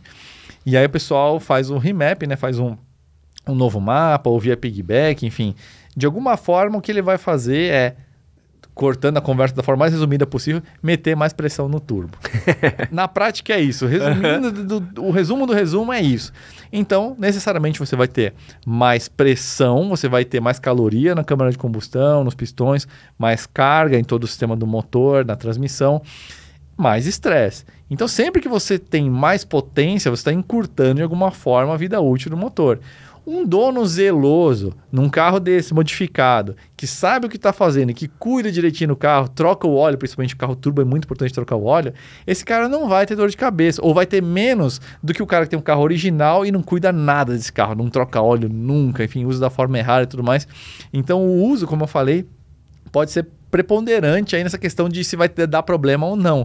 Mas a questão é quando você pega o carro semi-novo, que é aquela caixinha preta. Porque às vezes o cara vende o carro para você e fala, não, esse carro aqui nunca foi modificado, é original. Cara, era um carro que todo fuçado que o cara guardou as peças, simplesmente montou de volta, pôs o mapa original e está no mercado. Isso tem muito nesses carros turbo, né? Então, precisa hoje, a gente chama de processo de pré-compra, né? ter um, um especialista para avaliar com muita atenção essa parte do, da mecânica do carro. E, eu não faria nenhuma modificação sem entender exatamente como que está a condição do, do motor. Né? E, e, acaba implicando em outras coisas também, né? Acho, é, não sei o quanto que isso implica em roda, não sei o quanto que você aumenta a potência, você precisa talvez mudar a estabilidade do carro, isso tem alguma relação também? É, depende do, da potência que você vai ter ali, né? É, e potência está no seu pé direito, né? Se tem um carro potente, mas você... você cara, ah, você sabe o que, é. que os caras vai fazer, Juliano. Sabe que o cara... Você acha que ele vai olhar aqui a a salinha livre duas da manhã não vai. É. Isso. Mas se o cara Porra. faz isso nos espaços livres tem o trânsito esperando ali na frente, cara, acho que aí é melhor você estar tá com um conjunto de freios em perfeitas condições, um bom pneu para você não só acelerar, mas frear melhor e tudo mais. Aí vale a pena investir, né? Mas esse pessoal que, putz, só quer ali um fôlegozinho a mais. Putz, o carro, de, sei lá, originalmente vai ter os 180 cavalos, o cara vai para uns 230 e tudo mais não faz tanta diferença assim, cara. Manter o carro original no resto ali, bem cuidadinho, já, já tá de bom tamanho. Já ajuda. Mas que é difícil, né? Tem. Puta, aqui na rua, não sei, não sei o que acontece aqui, velho. Não sei, acho que é Zona Leste, né? acho que é um pouco disso aqui. Nossa, o que tem dos caras que passa aqui, aqui é uma subida ainda. Irmão, os caras testa, uhum. testa pra ver se o pezinho tá leve, assim. Sobe, mano, sentando o pau, assim. Meu Deus do céu. E os caras não se seguram, né? Impressionante. Sim impressionante, assim. Também, quem sou eu para julgar, né? Já julgando. todo mundo já foi moleque, todo mundo já fez merda, né? O foda é quando não é moleque, né? O foda é que os caras querem... É que hoje é um, a sociedade tem é, moleque de 15 a 60 anos. É isso. Eu quero falar também agora um pouco de, de cultura de racha, né, velho? A gente teve uma mega operação esse ano na, na Zona Sul. Foram mais de 100 carros apreendidos. Tipo, umas naves no meio, assim, acho que é, é muito louco. E eu tava dando uma lida nisso aqui, preparando para a pauta do programa, sobre como essa cultura de racha hoje, ela deu uma modernizada, né? Ela mudou um pouco. Acho que a gente deve ter mais ou menos a, a, a mesma faixa etária. E antigamente era o racha tinha point, você Sim. colava no postinho da, da Faria Lima, você uhum. sabia mais ou menos que horas que era, Sim. quem que era, como que era tal. E hoje é uma coisa mais influenciada em grupo de Telegram, WhatsApp, esse tipo de coisa, né? Como é que tá essa coisa da cultura de racha hoje em São Paulo e outras capitais? Eu acho que essa questão da apreensão do posto tem e não tem a ver com o racha em si. Considerando o racha no termo de competição entre dois carros em um local inapropriado para isso, né? O que tem muito nesses postos é a ruaça. Sempre. Que aí não sei onde se enquadraria, talvez em manobras é, perigosas, alguma coisa assim. Que é o pessoal sair do posto botando o carro de lado, fazendo zerinho, acelerando o carro, pipoco, estouro e não sei o que. É, dando umas aceleradas, às vezes sozinho, mas aí sim fazendo manobras e tudo mais. E, e, o que acontece nesses postos aí é, é, muito isso, é muita arruaça, né? Racha mesmo, é, é, eu acho que ainda, de certa forma, segue mais ou menos como era antigamente. Tem os lugares ali, tem até até, uns caras até saem de posto e tudo mais, vão acelerar, sei lá, na marginal e tudo mais. Mas por isso que eu falei, essa impreensão, ela teve e não teve a ver com isso, porque esses 100 carros aí, cara, te falo que desses 100, se tiver 10, 15 ali que são realmente rachador, vai ser muito. Agora, a galera que faz a ruaça, ele tinha vários, vários. Tinha gente que tava só assistindo, que às vezes tem um carro modificado original, que foi junto ali também. Aí, né? ali também. Ali, é, exatamente, tava na chuva, se molhou, né? Mas, mas é uma coisa muito doida. E, e, como mudou essa coisa de antigamente, o racha era uma coisa underground, que as pessoas não gostavam muito de se expor. Putz, vamos ali num lugar mais isolado e não sei o que e tal, né? E hoje essa coisa do cara, o cara tem que filmar e botar no Instagram. Não, tem influencer fica... de racha, irmão. Exatamente. Isso é muito louco, né? É, o mais louco é isso, cara, que é você dar exposição pro crime que você tá cometendo e contar muito com a, vamos dizer assim, a, a incapacidade do poder público em, em, punir, né? Porque o cara se expõe, cria fama e cria, ganha dinheiro em cima disso, e tá ali o nome dele, todo mundo sabe quem é o carro dele. É muito doido isso, né? Não, eu, eu fico louco, a galera gosta de se imputar crime, né? Teve um menino que ele. Até Sim. o vídeo dele, que ele até sofreu um acidente, ele passando com aquele estrobro, sabe? Com, na mão, do lado de um carro, piscando assim, que é um que é, é, é proibido. Sim e filmando e postando como, mano, se o cara tivesse no.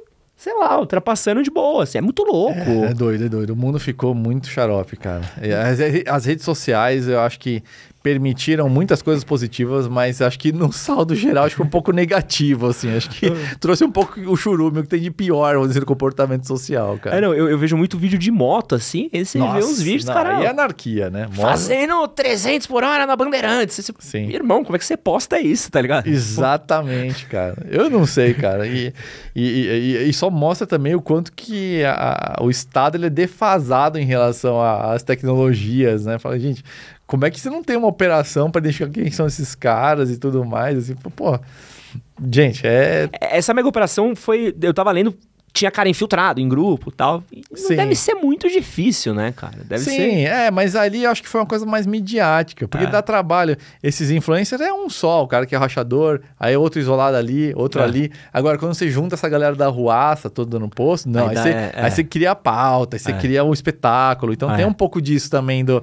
do interesse midiático do poder público em querer passar uma imagem, né? Mas o, o- o- a resolução efetiva dessa ação, cara, te falo que foi quase nada. Como eu falei, rachador mesmo, cara, tinha pouquinho ali, se, se é que tinha. E é muito louco. Vocês devem ter um público também que é muito desse rolê, né? Sim, a gente tem de tudo. A gente tem de colecionador de mais de 70 anos, cara, que só curte ali o carrinho dele original. Tem cara que tem carro potente, mas nem curte acelerar, cara. Ali é o tesão do cara estar ali no poder, embaixo do pé dele, mas nem acelera muito.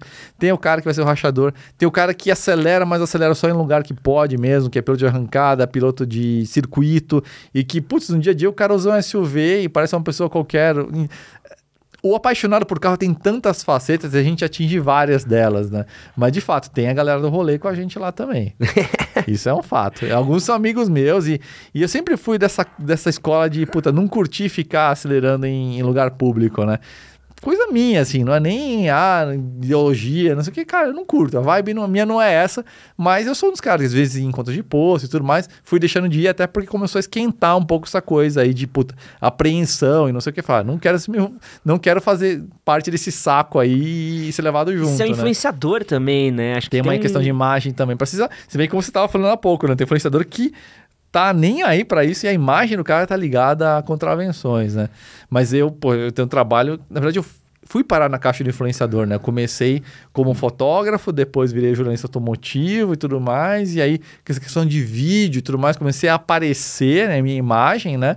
E era engraçado que antes, né, quando eu trabalhava na revista Karen Driver, eu recebia carta, cara. E, e as pessoas ficavam imaginando como que era a sua cara, porque a gente testava carro e não sei o quê, e muitas vezes não era a gente que estava ali na foto do teste, né, da, que tá ali Aham. na revista. E aí as pessoas ficavam imaginando, cara, e mandava carta, e pô, aí eu- você encontra hoje um leitor, que, o cara que acompanha a gente lá no Fletal, fala, caraca, você que é Juliano Barata da Canon Driver. Você começou a escrever em que ano? Pra revista. Ah, acho que foi 2007, por Pode aí. crer. Então foi engraçado isso, cara, de, de, Mudar, de, né? As pessoas ah, começarem a materializar e ver a cara de quem escrevia, né? Eu, eu vivi tudo. Eu vivi a época do escrito no- na, na revista, vivi a época, só não passei por jornal, mas passei por todas as faces possíveis de produção de conteúdo, mais old school ao mais contemporâneo de hoje. É, mano, é muito louco. É, meu tio era muito aficionado por carro, né? Aham. Cresci numa família de pessoas que gostavam muito de carro e eu fui a criança que não gostava de carro, né? Uhum. Então, cara, tinha pilhas e mais pilhas, assim, de tudo quanto é revista de carro possível, assim, Sim. na, na casa dos meus tios. Era muito curioso, assim, como é um, é um, é um mercado à parte, né, cara? Eu, é, um, eu é como uma jornalista, cultura. É uma cultura à parte. eu acho muito... A galera de carro é muito noia, cara. É Mas olha que coisa nóia. engraçada. Por que isso, né? O carro, a representação social do carro mudou completamente hoje. Para quem nasceu nos anos 80 e talvez no começo dos anos 90, o carro era a representação da liberdade literal. Porque com o carro, quando você tinha a carta, ou muita gente dirigia sem carta ali na época, você podia ir para onde você quisesse, na hora que você quisesse. Não tinha aquela coisa de, putz, eu vou perder um metrô, ter que ir embora, galera. Ah, putz, vai parar de passar ônibus tal. Não, vou ter que virar à noite aqui para pegar o ônibus às seis da manhã e não sei o quê. E não tinha transporte direito, né? Exato. Então você, você tem a- ganha asas, né? Então eu lembro que era, todo mundo tirava a carta, putz, saía para comprar pão para os pais, que era aquela coisa de você se deslocar para onde você quisesse, da forma como você quisesse. Não tinha essa coisa de você pagar para alguém ou ficar no, no deslocamento do ônibus ou do metrô. Hoje em dia a liberdade está aqui, né, cara? É o celular, é o Uber. Hoje uma criança, um adolescente consegue ir para o lugar que quiser chamando um Uber.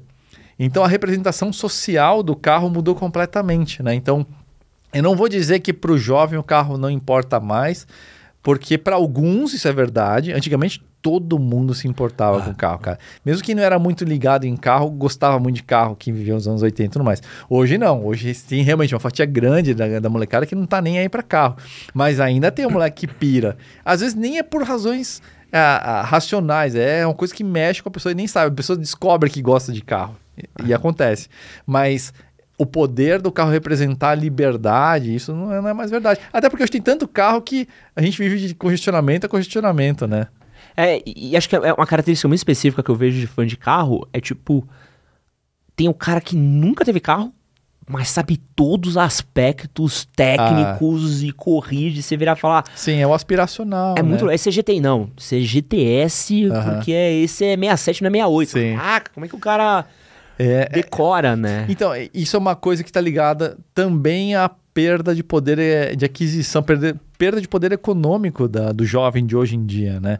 É, carros, casas, tudo já foi mais acessível, né? Hoje é cada vez mais difícil, cara, um jovem comprar um imóvel, comprar um carro, então... é, realmente é, tem isso também, né? Às vezes o cara sabe tudo e, e não tem. Ele, e, e ele quer muito ter, mas tá muito distante, cara. Não tá naquela coisa, putz, se eu ralar aqui, trabalhar nessa loja de tênis aqui por seis esquece. meses, um ano, quem sabe eu consigo comprar um carro usadinho. Não. E isso era muito realista nos Ah. anos 90 até, até começou nos 2000.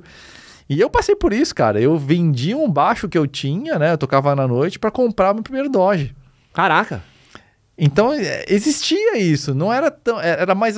O, o passo inicial, o degrau inicial era mais acessível. Aham. Hoje o ticket tá meio já começando meio, meio lá em cima. Tem uma notícia aqui que fala que a venda de motos ela acumulou um crescimento de quase 20% nesse ano. Você acha que o brasileiro ele tá trocando a- o carro pela moto? Não necessariamente porque ele quer.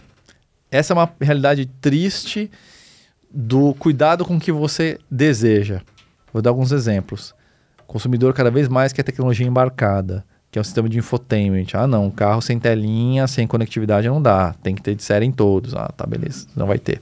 Aí o governo vem e diz: não, tem que ter airbag, tem que ter ABS, porque segurança. Não, verdade, ninguém quer morrer, então vamos colocar isso aí. Ah, mas eu quero um carro com design atual, não sem farol de LED, farol halógeno, que isso, inadmissível. Então vamos colocar farol de LED, não sei o quê. Cara, você vai subindo o preço do carro. O, a porta de entrada do carro zero hoje tá beirando 100 mil reais, né, cara? Verano não, é. Então, assim, é, ficou um absurdo o valor do carro zero hoje. E O aí carro que- popular, né? é, é, a gente nem pode chamar de popular, mas o termo, o termo sumiu, inclusive, né? E aí o que acontece? Teve um envelhecimento da frota, né? então é, foi efeito contrário. Todo mundo queria mais segurança, mais tecnologia, não sei o quê, mas na verdade a frota circulante perdeu tecnologia, porque cada vez mais carro velho, porque a galera não tem condição de comprar esse carro, né? Com todo mundo pulando de manada no seminovo, começa a ficar caro o seminovo também. E aí o que acontece? Qual é a alternativa mais próxima? É a moto. A moto hoje é a solução de transporte, de mobilidade para muita gente, não só porque quer. Tem muita gente que quer. Pô, eu tô lá no Morumbi, para vir até, até aqui, posso tirar só a moto e chegar na metade do tempo. Beleza. Mas para muita gente, a moto é a única opção. E essa é uma questão que é um pouco triste da consequência do encarecimento do automóvel, né? Eu falei da questão dos gostos, do governo dando canetada e das pessoas querendo mais tecnologia, mas aí também teve a pandemia. Com essa coisa de shortage, né? De, de você ter menos fornecimento de suprimentos em cadeia, as marcas foram obrigadas a fazer os carros mais caros e, e mais completos. Porque falou, cara, eu tenho aqui um volume limitadíssimo de painéis ou de chips ou de chicotes eu preciso pagar todos os funcionários. Cara, eu só vou fazer as versões topo de linha. Vou equipar esses carros aqui, senão ferrou. Eu não tenho margem. Então, a pandemia também deixou o carro mais caro por causa disso. E aí a montadora descobriu e falou, pô, então eu consigo fazer isso. Eu posso enxugar um pouquinho mais o meu volume de produção e ganhar um pouquinho mais por carro, né? Trocar volume por margem, né? Então, é uma soma de coisas que deu isso. Então, a moto tá, em- tá bombando também por causa disso. E, e eu vejo que começou a virar muito um aspiracional do jovem, né? Você pega um, um jovem médio, assim, um jovem de quebrada, ele quer a motinho dele pra dar grau. Ah, não. Isso é outra coisa. Isso Já aí, também- de fato. Isso é, e tem é uma coisa que não era tão forte, né? Pra, pra, pra Não quem é um era. pouco mais velho que a gente, não era um- uma questão tão comum assim. Sim, sim. É verdade, você tem razão. Isso aí, a, coisa da, da moto para fazer a arruaça é, é uma coisa muito aspiracional mesmo. Do... É um pouco nichado, é verdade, mas Não representa toda a sociedade, mas tem sim um, esse lado aí. Os molecada cortando giro, É, é. dando grau, só alegria. Foda quando tá fazendo isso no, no iFood, né? Sua pizza chega. o recheio todo escorrido de um lado, você já sabe que rolou grau. Eu, sabe, e, e eu tô aqui na rua, eu- a minha rua é a única passagem de um lado pro outro que tem aqui na região. Aham. Porque todas as outras ruas são mão pro outro lado, né? E, então todos os iFoods que precisam cruzar de dentro aqui da, do bairro pra fora precisam passar por aqui. Uhum. Irmão, cinco minutos aqui, você vê uns 10 iFoods dando grau. Ah, sim. Porque a subidinha, o cara já sobe. Né? Ah! Fala, esse sushi vai chegar bom. Esse wasabi vai chegar já espalhado já. Nem precisa misturar. Mano, e o salão do automóvel, bicho? Morreu? Foi de base? Essa é uma coisa muito louca, como que o salão do automóvel deu um tiro no próprio pé. Eu vou contar a história de bastidor e a oficial, vamos dizer assim, né? Ah, não posso chamar de oficial no sentido mais oficial do termo, mas é o seguinte. ah, de fato, hoje, o fator novidade do salão do automóvel, ele está muito borrado pela tecnologia. Antigamente, você ia no salão para descobrir qual é a cara daquele novo carro que saiu, etc e tal. Hoje em dia, com essa coisa de internet, cada um tem uma câmera no celular, cara, quantidade de flagra, de carro em teste e tudo mais, é, é, aumentou muito. Então, hoje você vai no salão, ou iria no salão, para conhecer um carro que você já viu. Né? O fator novidade, revelação do salão morreu. Isso já faz uns 10 anos, isso aí. Agora, o nosso salão automóvel, ele deixou de ser realizado e não sei se volta por uma questão comercial, cara. A empresa que organiza o salão, ela não permitia uma série de ações comerciais, incluindo a comercialização dos veículos por parte das fabricantes. Então, se você pegar, por exemplo, e é uma coisa completamente diferente, uma agri-show é, é, é, e esses eventos ah, para produtores agrícolas, rurais, cara, a quantidade de grana que gira ali, ou essas feiras de transporte de aviação, de, de barcos e lanches, cara, o cara vai lá e compra frota, às vezes, de caminhão, o cara fecha a compra ali é, da, da empresa dele. Hum, É um volume de dinheiro absurdo. E o salão não deixava, o salão automóvel nunca deixou isso. Então, era o maior investimento, ou um dos maiores investimentos de marketing que a marca fazia quando- no ano, no ano de salão. Botava aquele oceano de dinheiro e não podia vender nada. E pra piorar, é uma coisa que aconteceu em vários outros eventos, você devia fazer o seu lançamento junto com outras 10 marcas. É, você tinha uma diluição de atenção, é verdade. Mas o principal que desanimou as marcas era isso. Cara, agora com essa coisa de você ter o investimento de marketing cada vez mais ah, é, pulverizado, porque tem influencer, tem canal de YouTube, tem um monte de coisas que você faz, e-mail marketing, não sei o quê. ah, começou a ficar caro essa coisa de você pagar esse oceano de dinheiro para Ah. ir, pra ir para um evento onde você não pode vender carro. Então foi uma batida de cabeça que é, que é tão sim, tão simples é, e poderia ser resolvida, cara. É, é- é usar o exemplo da- das- desses eventos aí, agri-show da vida, e falar, cara, não, pode vender. Ah, tem trâmite para resolver, qual vai ser a concessionária, não sei o quê. Cara, dá para resolver. Mas infelizmente foi uma questão de cabeça dura. Quando que foi o último? Gente, a idade é um problema, né? 2018, será? Eu acho que foi 18. O último que eu fui foi 16. Eu acho que foi O último 2018. 16. Acho que o último que eu fui foi 16. 16, 17 foi o último que eu fui. É. Foi maravilhoso. Foi um ano que um carro caiu. eu lembro até hoje que os caras tinham um carro. Oi? 18? É, o último foi 18. Eu lembro que tinha um carro pendurado de uma marca. Acho que era o Cinquecento, eu acho. Tá. Tava pendurado num teto. Uma coisa lá. né, Essas coisas que marca faz, né? Uhum. Mano, o carro caiu no meio do rolê. Puta, e pra tirar o carro do. Dali. Lembro, lembro que foi no dia da imprensa. Puta, uma puta. Aham. Puta zona. Caos. É. Eu gostava desse automóvel, achava legal ver um- uns Não, carros. é acabava sendo. Principalmente quando tinha carro velho, tinha alguns carros diferentes, acabava sendo uma Sim. oportunidade e, e de juntar a galera que gosta de carro, né? Acho que Sim. o grande rolê às vezes não é nem. É, aquela, aquele passeio, né? Que você É. vai e vê tudo de uma vez e tudo mais. Então, eu acho que quem sabe um dia volta, porque é uma experiência muito única. Ainda continua sendo uma experiência interessante você ir num salão automóvel e ver todos os carros de perto, poder tocar, entrar e, e ver eles super bem expostos, em cores diferentes e tal. Então, a experiência ainda é legal. Agora, ela precisa ser economicamente interessante para as marcas. É. só resolver isso. Mas não tem outra empresa que faça isso? Você não, Ah, não isso aí eu não, não vou saber dizer qual que é o trâmite que impede de se encontrar uma outra solução. A gente tem o Edu lá da Full Power que organizou um evento festival Interlagos, muito legal. Boa. É, e várias marcas se interessaram, inclusive vai ser realizado em vários outros anos Que aqui pra frente. Muito legal, um trabalho excelente, ele faz a parte de eventos. Mas aí é um evento de experiência ao volante, é todo Interlagos. É diferente do salão, daquela coisa literalmente ser o salão, Ah. aquele terreno todo coberto e os carros expostos. Então é uma experiência diferente, né? O salão em si não foi substituído. É, eu não sei. E aí, desculpa a galera que vai me, me criticar aqui por ser woke, mas vou ter que entrar nessa pauta aqui. É.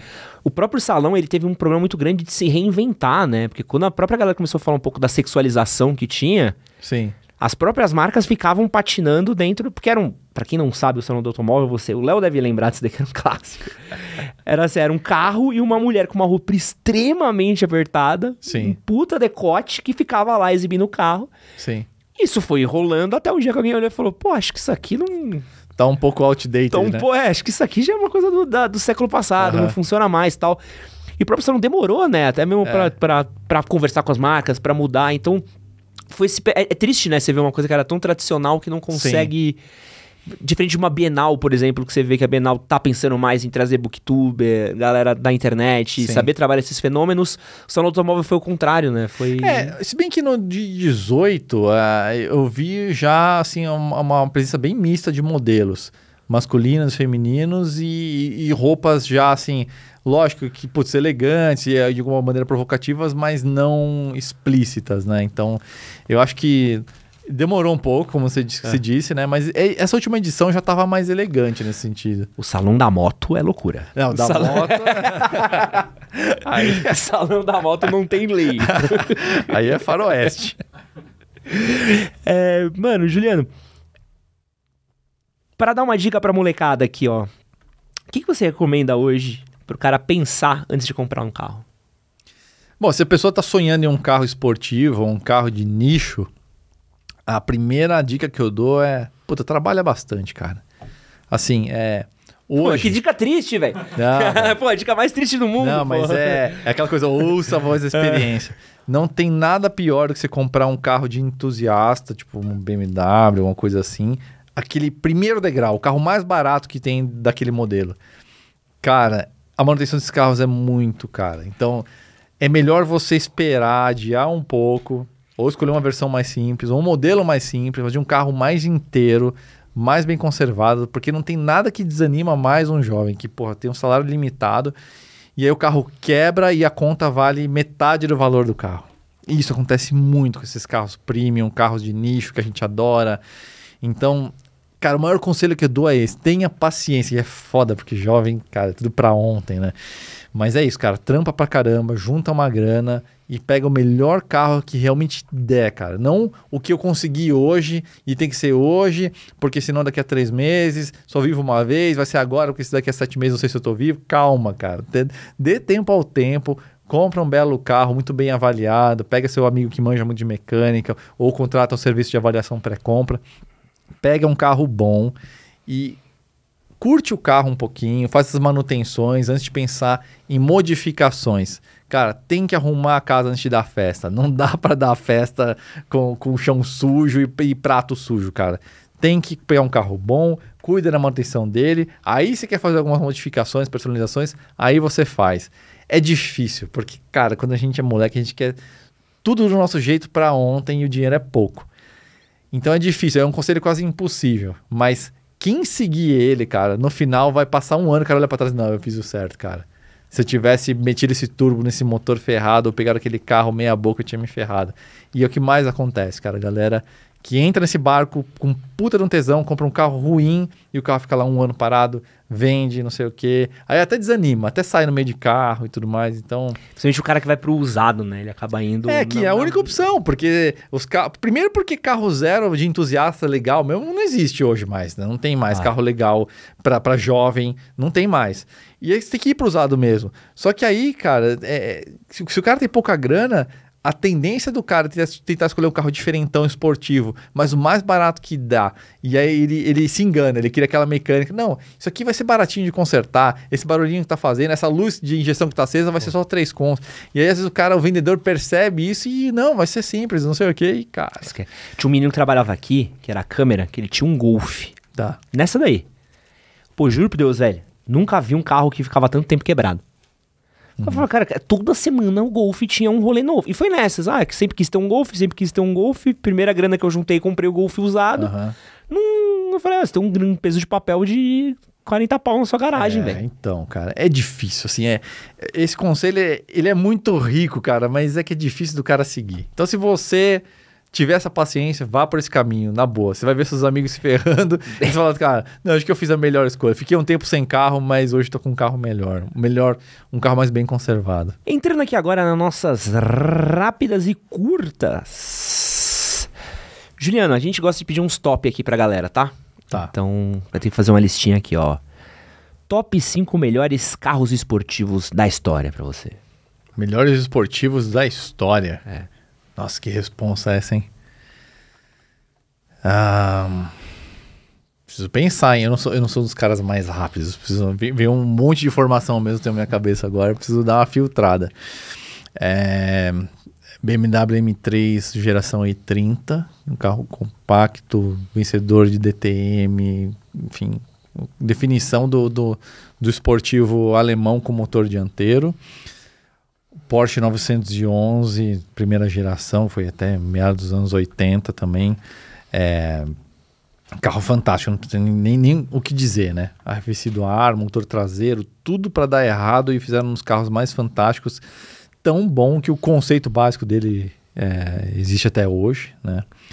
A, a Ferrari F40, porque ela foi a representação mais extrema de um carro de corrida com placa que a Ferrari já fez, porque ah, a GTO tecnicamente era um carro de corrida, né, lá dos anos 60, mas a F40 não, era um carro de rua, só que um carro, enfim, todo em fibra de carbono, sem, sem conforto nenhum, a porta se abria por meio de um cabo de aço, pra você ter uma ideia. É mesmo? Era um carro extremamente raiz. Pô, mas é lindo, hein? É. Aquele aerofólio quadradinho, É. assim, puta, carro lindo. Você sabe que a isso daí. pintura desse carro era tão fina para questão de alívio de peso que você conseguia ver a textura da fibra de carbono no reflexo de luz. Cara, acho que eu nunca vi uma pessoalmente. É, tem uma só no Brasil. Eu vim em Araxá e aí eu comprovei isso. Realmente, você Meu vê o carro é texturizado, ele não é liso, a pintura. Nossa, é maravilhoso. Esse carro eu acho lindo. Eu não, não sou muito pirado em carro, mas esse é um dos que eu acho mais lindo mesmo, de longe.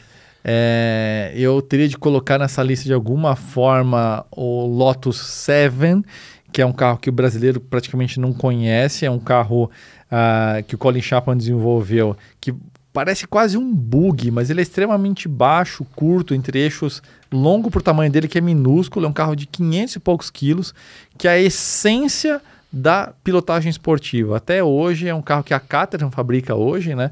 É, e tem exatamente a mesma cara lá da época, é um carro esquisito, mas tem uma direção dinâmica. É mesmo? Aquilo é um néctar puro, assim, falar qual é a experiência definitiva de, de, um, de um carro esportivo? Putz, é o Lotus 7. Esse é muito esquisito, velho. Esse carro é bem esquisito, É bem esquisito, esquisito. mesmo. É um kart. É literalmente um kart. Carro esquisito, velho. É, eu nem sei, eu perdi a conta já. Tá no quarto. Tô no quarto. Agora deixa eu pensar em termos conceitos. Então eu dei uma Ferrari, um BMW, Porsche, um Caterham. É, Deixa eu pensar para que lado que eu vou agora. Talvez um carro de tração nas quatro rodas para a gente ir para um determinado lado aqui. É, acho que aí eu teria de premiar o, a- o Lancer Evolution de forma geral como um carro de rally, vamos dizer assim, que foi parar nas ruas, né? Especialmente é, até o Evo 6, que não tem pouquíssimos no Brasil. Aqui no Brasil a gente tem mais os 7 para cá, incluindo principalmente o 10. Mas é um carro que, da mesma forma que o Subaru WRX, é um carro de rally, um carro de homologação, que, cara, fantástico, fenomenal. Então acho que eu diria, essa seria a lista muito injusta, porque tem muitos carros, não dá para chegar em cinco assim. E provavelmente se fizesse essa pergunta mais tarde, eu ia trazer outros carros. Se me perguntasse amanhã, eu ia falar outros. Então, vamos dizer, para hoje, nesse exato horário, oito e poucos da noite, nesse dia, a lista é essa. E aqui, se você tivesse que fazer uma indicação de cabeça, assim, de carros seminovos ou usados que vale a pena investir. Óbvio, levando em consideração o estado do carro e manutenção dele. É, eu diria o Civic. É... Civic da geração 9, 10, são, são carros bons, principalmente Civic 10. É um carro muito, mas muito bem construído, muito espaçoso, muito bom de guiar. Uh, especialmente o aspirado, né? O não Touring é um carro muito durável, né? Então esse é um carro legal de se ter. Mesma coisa para o Corolla aspirado, também é um carro fenomenal. É, pensando na forma racional, né? A gente está falando de carros aqui de, de uso, né? É, deixa eu pensar, o que a gente tem de carro carro bom, bem construído. Eu sempre falo do Fit, mas o Fit hoje já começa a ficar um pouco de garimpo, né? Porque o Fit deixou de ser fabricado já há alguns anos, mas ele ainda segue com os mesmos bons predicados, né? Então, você está vendo que eu estou indo tudo para o mesmo lado, né? Carro uhum. aspirado, geralmente japonês, bem construído tudo mais. Pensando nisso, carro assim que eu quero ficar por muitos anos comigo. Então, é. Quando você pega um carro turbo, ele é mais eficaz, ele vai ter uh, uma performance maior e um consumo menor. Mas aquilo que eu falei de caloria, de sobrecarga no motor, ele é um motor mais dependente de um dono zeloso, né? Então, uh, o, carro turbo para propriedade muito longa, eu fico um pouco em, em dúvida, tá? Uh, se a gente pegar um... Mas eu poderia dar aqui algum, algum exemplo bacana, por exemplo, um próprio Renegade ou um Compass Turbo Diesel também é um carro muito bom, muito bem construído. É um carro que tem assim, um apelo de mercado muito bom. É, então, essa poderia ser uma, uma outra opção. Uh, de, deixa eu pensar em algum, algum outro nicho. Tem um carro que é muito, mas é muito legal. Só que é bem de nicho mesmo, mas é um carro que, assim, de todos os fabricados, eu diria que é o mais durável, que é o Suzuki Jimny, o Jeepinho, sabe? Sei. Cara, esse carro é muito bem construído. Esse é um carro que você pode ter, assim, 10, 15 anos tranquilamente, assim. É um carro muito bom. Só que é um Jeep, raiz eixo rígido na frente e atrás, então ele não é confortável na cidade, na, na, na estrada não é grandes coisas também. É, e esse Sierra, que é essa versão nova, ele é bem melhor, mas ainda assim é um jipinho raiz. Cara, eu estou ligado que carro é esse. Ele é caro, o seminovo ele é caro, e esse é um carro que você pode ter e esquecer. Só que é aquilo que eu falei, tem uns tem ali uns contrinhas ali, né? Que ele não é tão confortável, espaço de bagagem quase não exi inexiste e tudo mais. Mas se você é aquele tipo de pessoa que fala, cara, quero um carro estiloso, meio aventureiro e tal, e eu quero esquecer, cara, quero ter esse carro 10 anos, tá aí o carro, cara. Vai casar com ele. É, é ele, é, ele é muito bom mesmo, cara. É um carro muito bem construído. E aqui, ó, nosso isso ou aquilo dos carros. Tá. Então aqui é perguntinhas rápidas para você responder, tá bom? O que, que você prefere Fusca ou Opala? Opala. Opalão sem pensar? Opala, sim. Eu gosto muito de Fusca, tenho muita lembrança com, inclusive meu pai teve um. Só que o Opala, cara, o design dele, a experiência de direção, eu tive um e, putz, eu, ele comunica mais com as coisas que eu gosto num carro antigo. O que você prefere ter? Um Kwid Zero ou uma lasanha? Ah, uma lasanha. Não tenho a menor dúvida, cara. Se resolve os BO do carro? Ah, uma pessoa da Renault que me desculpe, até porque eu tenho o Sandero RS e eu adoro esse carro, mas o Quid, cara, não, não dá, assim, não dá. É um carro apertado, meu ombro bate na coluna, o freio é ruim, qualidade de construção, não. Pergunta é, chamou Uber, é que... É o Quid, nega a corrida? não, não, não. Não sou esses caras, não. Você viu essa polêmica no Twitter esses dias, né? Mas, mas te falo, dá uma tristezinha assim, fala, nossa, velho. Carro elétrico ou motor AP? AP. Nem, nem titubeia. Até para transporte, cara, desculpa. Mundo real do carro elétrico é o seguinte, cara. Você vai ter 11 kW no, no, no mercado, cara. Ou seja, para você ter 10% de recarga, você vai largar aquele negócio uma hora lá. O carro elétrico, assim, no, no mundo real, se você não tem, se no ponto A e no seu B tem garantido um ponto de recarga para você, porque você é o dono do seu escritório, sua vaga está garantida, e na sua casa está garantido também, cara, beleza. Agora, saiu desse negócio aí, é esquece. Cara, é. O que você prefere, pilotar um resto de rico ou um choraboy? Ah, um resto de rico, cara. É, o carro, considerando o Choroboy o carro socado no chão, roda gigante e tal, o carro não funciona. Eu gosto de carro que funciona, assim, que, que é, o carro de pista que vai ser desconfortável, que nem um Choroboy, puta, eu vou pôr na pista e vai funcionar pra caramba. Vai ser um carro incrível de guiar no autódromo. O carro socado só pela estética, ele não funciona em lugar nenhum. É ruim na pista, é ruim na estrada, é ruim na rua. O carro tem que funcionar para mim. Compra, aluga e encerra a fabricação. Carro americano, alemão e japonês. Como é que é? Não entendi a pergunta. Você vai escolher qual você compra, uhum. qual você aluga, que é para andar de vez em quando, e qual você encerra a fabricação. Um carro americano, um carro alemão ou um carro japonês. Bom, se tá livre o orçamento, o carro que eu compro é um Porsche 911. Cara, qualidade de construção, experiência dinâmica e tudo mais. Não alugo nenhum. Não, tem que escolher, não, não tem nenhum que você. Não, cara, não. não, não existe pra mim isso aí, cara. Carro tem que ser meu, cara. Não, tô falando de alugar, tipo assim, um que você não gosta tanto. Uma escola que você não gosta Ah, tanto. tá. O carro que eu não. Ah, putz, mas é o que aquilo que eu te falei, cara. Eu gosto de. de- pô, Não, aí- se compromete um aí pouco aqui. Você me põe numa situação difícil. que é- qual que eu A vou graça escolher? é essa. O lugar. É... Putz, aí você me ferra, porque eu teria de carros legais de vários países, cara. É, por exemplo, eu acabei de refazer minha resposta. O carro que eu comprei seria um Mustang, na verdade. Tu cara. seria um americano, É, comprou. então, eu comprei um americano, cara, é do caralho, Mustang. Então talvez eu alugasse um, um alemão, apesar de gostar, resposta com o coração partido. E a gente terminaria a produção do japonês. É, porque nesse momento os carros japoneses estão com um problema de crise de identidade, assim, cara. Eu, eu acredito neles, eu acho que eles vão chegar lá, mas nesse momento eles estão meio perdidos. E pra terminar, o que, que anda mais rápido? Um golzinho de arrancada ou um Uno com a escada em cima? eu sou da escola do Uno, cara. Eu gosto de Uno. Mas eu gosto de Gol pra caralho, é foda. Parece que eu sou sendo político, né, velho? Mas não é, eu gosto mesmo dos dois, cara. Mas se for pra escolher, eu fico com o Uno. Juliano, pra quem quiser conhecer mais o seu trabalho, onde é que eles podem te encontrar? Instagram pessoal, arroba Juliano Barata. Lógico, Flatout, né? Flatout Brasil, F-L-A-T-O-U-T Brasil, tudo junto no Instagram, no YouTube, enfim. Esses são os principais canais. Tá, tá lá no TikTok, não sei o quê, mas de verdade, a gente é velho, né? Então, pra mim é, é YouTube, Instagram e o site flatout.com.br, que a gente tem, um, tem mais de 10 mil matérias ali sobre a cultura automóvel. Juliano, um prazer enorme ter você Valeu aqui. demais. Parabéns pelo seu trabalho, obrigado pelo Obrigado. seu tempo. E muito obrigado a você que ficou aqui até agora. Um grande beijo e é nóis. Valeu! Valeu.